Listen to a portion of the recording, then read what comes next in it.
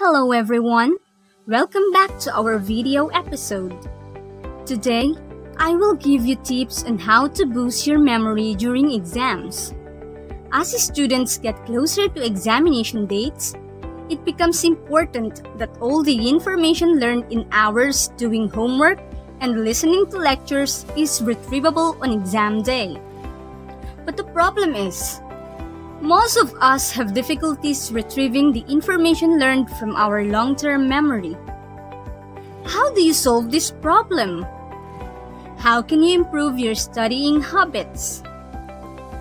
Here are 4 tips to boost your memory and improve your studying habits to get high test results. 1. After reading a paragraph, try to summarize the information you receive from it and ask questions. Reading on a topic you know nothing about is difficult. So, in order to retain the information, after reading a paragraph, repeat it out loud and provide a summary of the information received. This will let you know if what you read was processed in your head. To take it a step further, a useful tip would be to make questions and answering them on your own. If you enjoy what you are learning, it will become easier to remember it. 2. Make associations with new informations and what you already know. The more connections you make with new information, the better you will remember it. So, while studying, try making mental connections. Mnemonics has been proven to help you restore and retrieve information. And what is a mnemonic? Mnemonic is an instructional strategy designed to help students improve their memory of important information. This technique connects new learning to prior knowledge using visual and or acoustic cues. The basic types of mnemonic strategies rely on the use of keywords, rhyming words, or acronyms. 3 chunk and organize information.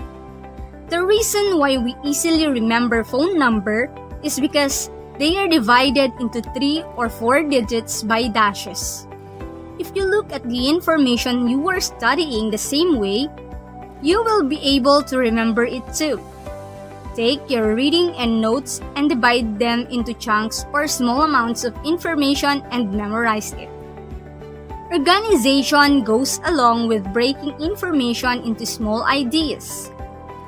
Our minds love organized information.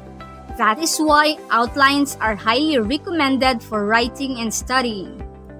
Organize information into groups or subtopics. Your mind will more likely understand the information if it is placed in an organized pattern. 4. Don't study in the last minute.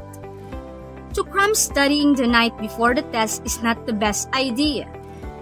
This advice is from a personal experience. You need to spend more time with the material and test yourself on the knowledge.